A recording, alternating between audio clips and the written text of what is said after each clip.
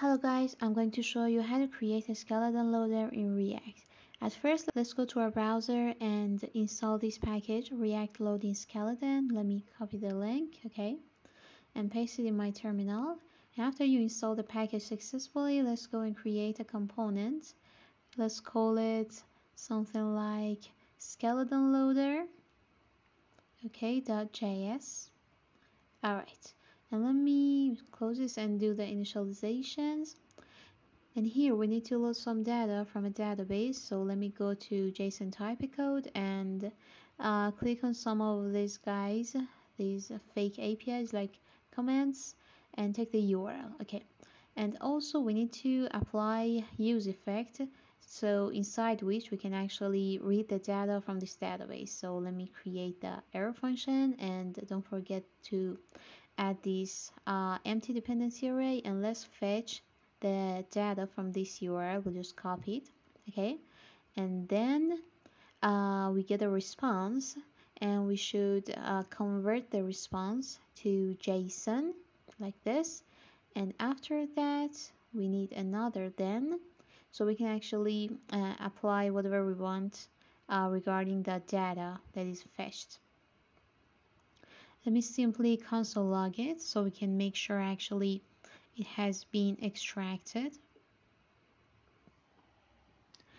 And as you can see inside console, the array exists. Let me create a use state to uh, save this data. Let's call it to-dos and set to-dos, okay? And it's equal to a use state. And initial value should be an empty array and here instead of console log uh, we should set the state to this JSON. Alright. Set to do's JSON. Great. Next step is to uh, uh, display it on our screen. So let me map this to do's and the arrow function. And inside this we need a to do item. And maybe an index. All right and here we need to return the template and the template is actually a list. I want it to be an ordered list.